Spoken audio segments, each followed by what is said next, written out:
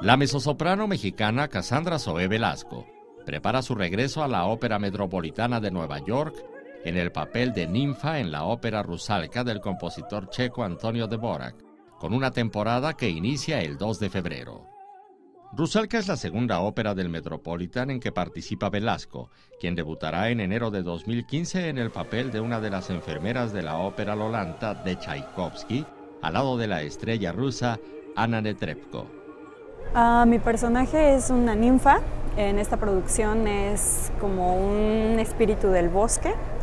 El concepto es, es un personaje que baila mucho, se divierte mucho. Eh, es creo que el ejemplo claro de la conexión de estos personajes fantásticos con la luna y con los elementos de la naturaleza. En entrevista con Notimex, la mezzosoprano expresó que su personaje en Rusalka es parte de su búsqueda por papeles más líricos.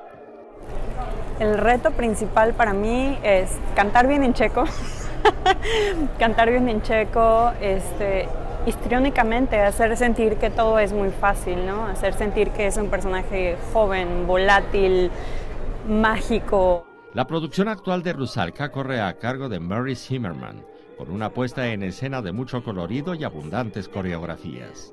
Velasco explicó que los tres personajes de ninfas de la producción son protagonizadas además por mezzosopranos de Corea del Sur y Estados Unidos, que deben cantar como si fuera el eco de una sola voz, lo que añade el reto de acoplar los acentos.